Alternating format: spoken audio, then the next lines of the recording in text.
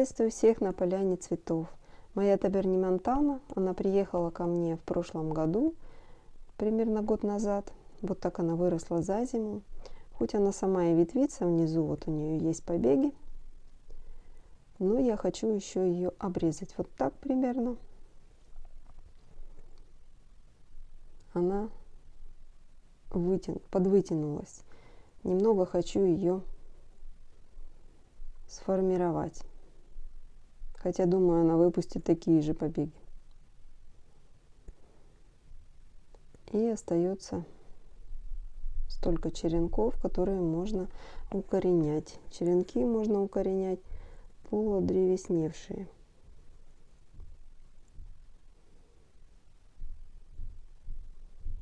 Я возьму три черенка. Их нужно поставить в воду можно вообще укоренять в воде. Я знаю, что укореняют в воде, но я не люблю этот способ. Мне больше нравится сразу в грунт. А воду нужно поставить для того, чтобы вышел млечный сок. У нее есть млечный сок, как у всего семейства кутровых. А она с этого семейства. Сестра адениума.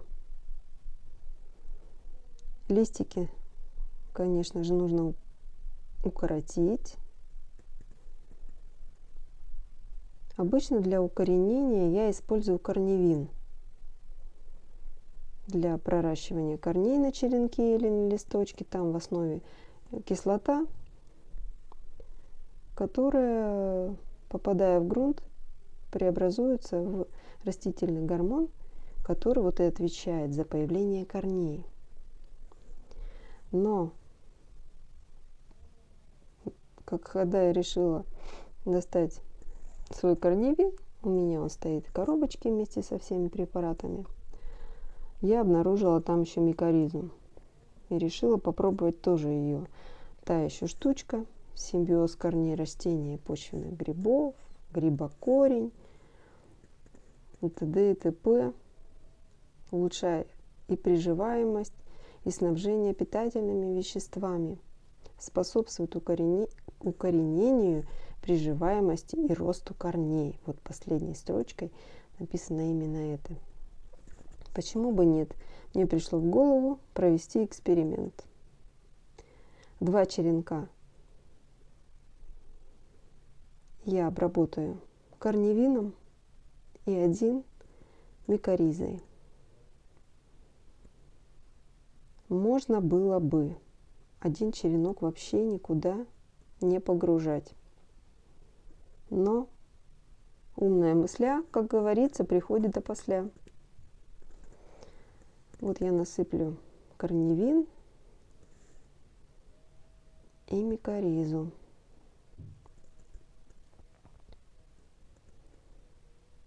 И теперь возьму черенок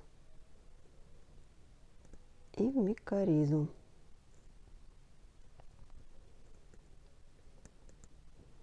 Ну и затем стаканчик с грунтом, грунт для цитрусовых.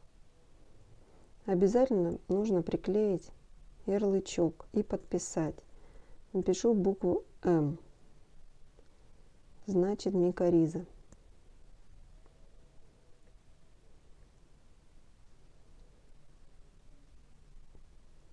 А еще два обработаю корневином.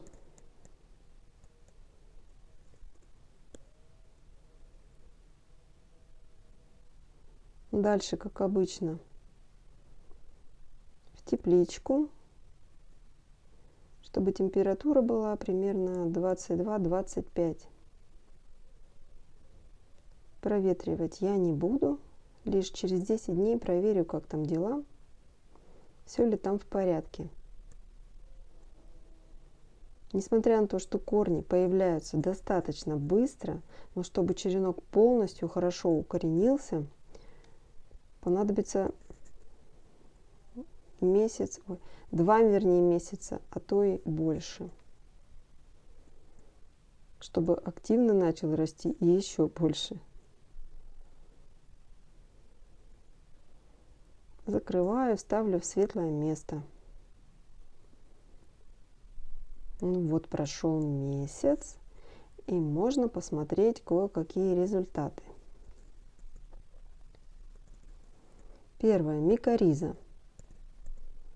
Два стаканчика корневин. Микоризе корней не видно.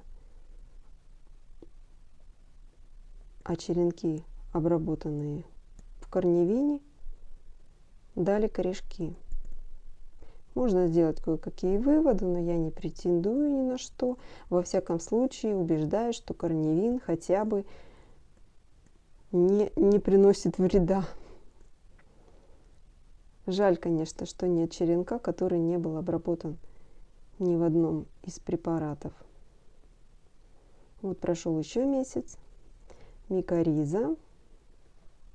Сейчас я ее достану. И вот два черенка слева обработаны в корневине, и справа один микориза. Они даже отличаются по цвету. И, конечно же, у первых двух черенков корней значительно побольше.